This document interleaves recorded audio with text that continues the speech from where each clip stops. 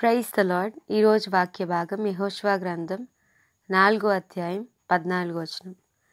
ఆ దినమున యహోవా ఇస్రాయేలీలందరి ఎదుట యహోష్వాను గొప్ప చేశాను గనుక వారు మోషేను గౌరవపరిచినట్లు అతని బ్రతుకు దినములన్నిటను అతని గౌరవపరిచిరి.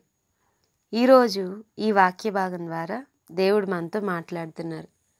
ఈ యహోష్వా గ్రంథం నాలుగో అధ్యాయం పద్నాలుగో వచనాన్ని మనం చూస్తే కనుక యహోవా ఇస్రాయేలీలందరి ఎదుట యహోష్వా గారిని గొప్ప చేయడాన్ని బట్టి ఇస్రాయేలీలందరూ కూడా మోషే గారిని ఏ విధంగా అయితే గౌరవపరిచారో గౌరవించారు సేమ్ అలాగే యహోష్వా గారిని కూడా ఆయన బ్రతికిన దినములన్నీ కూడా ఆయన జీవితాంతం ఆయన కూడా గౌరవించడం మనం చూస్తున్నాం. మనం కూడా వ్యక్తిగతంగా మంచి పేరు పొందుకోవాలని మనం గొప్పగా ఉండాలని కోరుకుంటుండే ఫేమ్ ఫేమ్ కోసం ప్రాకులాడుతూ ఉంటాం. మనుషులందరి ఎదుట కూడా నాకంటూ ఒక ఫేమ్ ఉండాలి.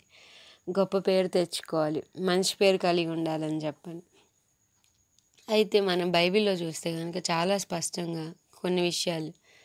ఎవరైనా మన మన ఎదుట హెచ్చింపబడుతూ ఉంటే గొప్ప చేయబడుతూ ఉంటే మనం ఏంటంటే కొంచెం ఇబ్బంది ఏంటి ఇట్లా అని అనుకుంటూ ఉంటాం. కానీ అలా ఎవరైనా సరే గొప్ప చేయబడాలి అంటే అది దానికి దేవుని సహాయం కావాలి అని దేవుని వాక్యం చెప్తుంది.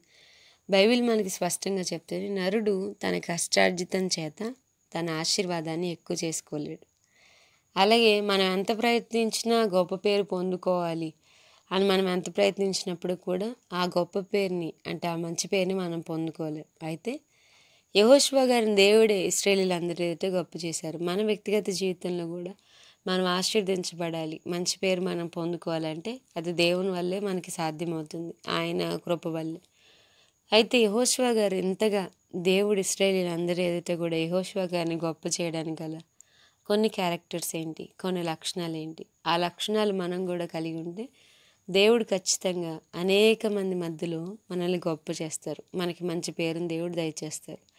ఫస్ట్ అండ్ ఫార్మోస్ట్ ఆయనలో ఉన్న మంచి లక్షణం ఏంటంటే మోషే గారు దేవునితో సమయాన్ని గడుపుతూ ఉన్నప్పుడు దేవునితో ప్రార్థన మాట్లాడుతూ ఉన్నప్పుడు ప్రార్థనలో ఉన్నప్పుడు దేవుని సన్నిధిలో ఉన్నప్పుడు యోష్వ గారు అక్కడ వేచి ఉండేవారు. మనం యోశ్వ గారిలో ఉన్న ఫస్ట్ లక్షణం ఏంటంటే నమ్మకమైన పరిచారకుని లక్షణాన్ని మనం చూడగలుగుతాం.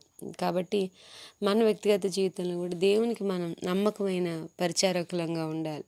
ఫెయిత్ఫుల్ దేశంలో ఆయన ఆశీర్వదించడానికి దేశంలో నమ్మకస్తులైన వారి కోసం ఆయన ఎదురు చూస్తాడు. కాబట్టి మనం దేవునికి చిన్న చిన్న విషయాల్లో కూడా నమ్మకాన్ని మనం చూపించాలి. ఆయన్ని మనం నమ్మకంగా మనం దేవునికి ఉండాలి. ఎలాగైతే మోషే గారు దేవుడు మోషే గారి గురించి సాక్ష్యం చెప్తూ నా ఇల్లంతటిలో అతను నమ్మకస్తుడని సేమ్ అలాగే మనం కూడా యహోష్వా గారిలాగా నమ్మకమైన పరిచారకులుగా మనం ఉన్నప్పుడు దేవుడు ఖచ్చితంగా మనల్ని గొప్ప చేస్తారు.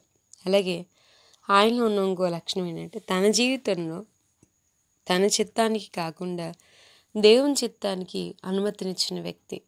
దేవుడు ఎలా నడవమంటే అలాగా దేవుడు ఎటు వెళ్ళమంటే అలాగా. కాబట్టి దేవుని చిత్తానికి పరిపూర్తిగా అనుమతి ఇచ్చి అలాగే దేవునికి సంపూర్ణమైన విధేయత చూపించిన వ్యక్తి. హండ్రెడ్ పర్సెంట్ ఒబీడియన్స్ అనేది మనం యహోశ్వ గారి జీవితంలో చూస్తాం. మన వ్యక్తిగత జీవితంలో కూడా దేవుని చిత్తానికి మనం అనుమతి ఇచ్చి దేవునికి మనం విధేయత చూపించే వారంగా ఉండాలి. అలాగే ఆయన మంచి విశ్వాస వీరుడు. మనం కూడా దేవుని పట్ల మనం కలిగి ఉన్న విశ్వాసాన్ని పెంపొందించుకుంటూ ఉండాలి. అలాగే ఇంకొక లక్షణం ఎ గ్రేట్ ప్రేయర్ వారియర్ మంచి ప్రార్థనాపరుడు. మనం చూస్తే సూర్యుడా నీవు అయ్యాలో నీవు గిబియోన్లోను చంద్రుడా నీవు అయ్యాలోను లోయలోను ఆగమని చెప్పని యహోషువా గారు ప్రార్థన చేయడం మనం చూస్తాం. అలాగే ఆయన ప్రార్థించినట్లుగానే సూర్యుడు చంద్రుడు ఆగడం కూడా మనం చూస్తాం. సేమ్.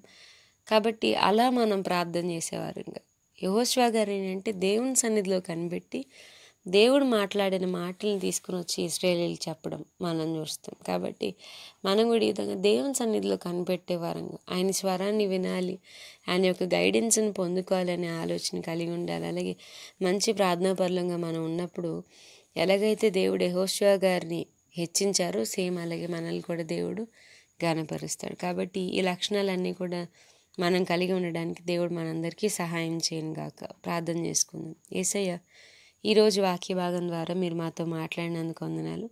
వాక్యానుసారంగా జీవించడానికి సహాయం చేయండి. ఈ వాక్యం వింటున్న ప్రతి ఒక్కరిని దీవించి ఆశీర్దించమని నజరేడైన యేసుక్రీస్తు అతి పరిశుద్ధమైన నామంన అడిగి వేడుకొంచున్నాం తండ్రి. Amen. God bless you all.